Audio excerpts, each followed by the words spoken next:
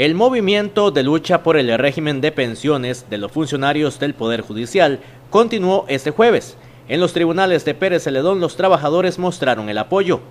Tome en cuenta la siguiente información para que tenga claro cuáles servicios están funcionando en los tribunales generaleños. En la materia de violencia se están recibiendo todo lo que son las denuncias. En el tema del juzgado de pensiones alimentarias, aquí estamos con las firmas de órdenes de apremio, libertades que haya que dejar sin efecto y levantamiento de impedimentos de salida.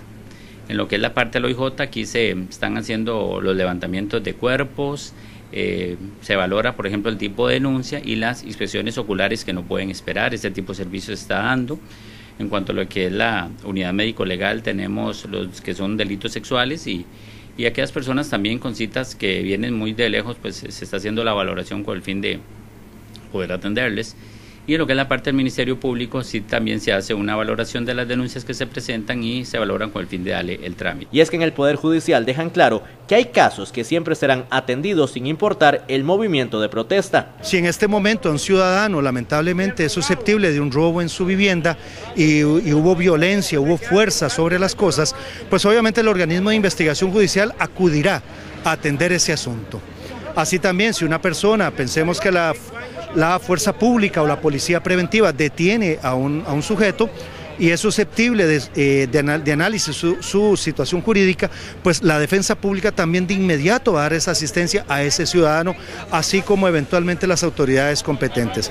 Solo asuntos esenciales son los que se van a atender. En la Contraloría de Servicios de los Tribunales de San Isidro del General, consideran que las personas tomaron en su mayoría de muy buena forma lo que se vive desde antes del mediodía del miércoles. Es que la gente ha sido bastante receptiva, creo que en estos últimos días la gente se ha informado suficiente cuál es la situación, entonces cuando tenemos la oportunidad de atender al usuario, eh, pues le explicamos de qué se trata la situación y, y la gente creo que ha sido bastante receptiva en ese sentido. Hay otros trámites que pueden reprogramarse y eso lo tienen que tener claro los usuarios. Para días siguientes o reprogramarse en agenda según corresponda son los que se están dejando, inclusive el Poder Judicial está haciendo un esfuerzo por informar a las partes, informar a la ciudadanía, informar a los interesados para que no hagan ese viaje o ese gasto inclusive económico de pasajes, de un taxi, de su vehículo, gasto de combustible, para que obviamente no se vean afectados. Pero eh, también tomamos en consideración, hay sus excepciones.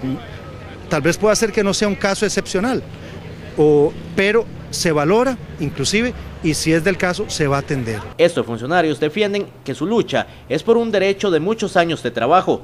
No estamos luchando por privilegios, sino por derechos. El Poder Judicial es un régimen totalmente independiente, no como se ha dicho en un discurso político o popular, que dependemos eventualmente de otros regímenes o que estamos eventualmente sacando de las arcas del Estado su patrimonio, no. Estamos hablando de 14 mil o 16 mil empleados judiciales, 14 mil o 16 mil familias que dependen de nuestros ingresos y que somos esas 14 mil o 16 mil personas las que cotizamos, inclusive un porcentual muy importante para sostener para sostener el, el, fondo de jubilación nuestro. Las personas pueden comunicarse a los tribunales para que puedan tener claro cuáles servicios pueden ayudarle. Sí, eh, la, la, gente puede dirigirse directamente a la oficina, a la, perdón, a la línea 800 803 mil, que sería donde se les puede dar alguna indicación. O el caso de la Contraloría, si estamos por acá, que también pues nosotros apoyamos también la, la huelga. Tome en cuenta todos estos detalles de un movimiento que según los propios funcionarios es histórico.